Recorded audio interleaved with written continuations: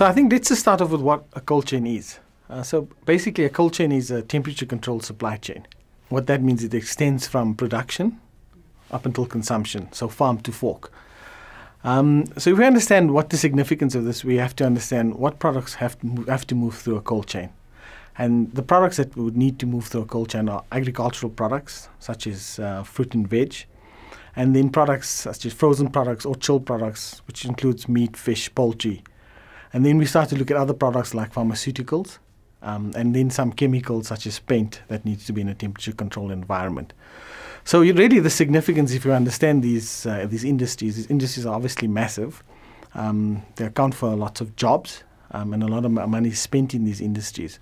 So really, um, having a, a, a well-functioning cold chain um, is critical to ultimately preserving the quality of these uh, these products. So if we look at um, what the value in the cold chain is, if we look at products, it's about extending the shelf life of products and maintaining the quality.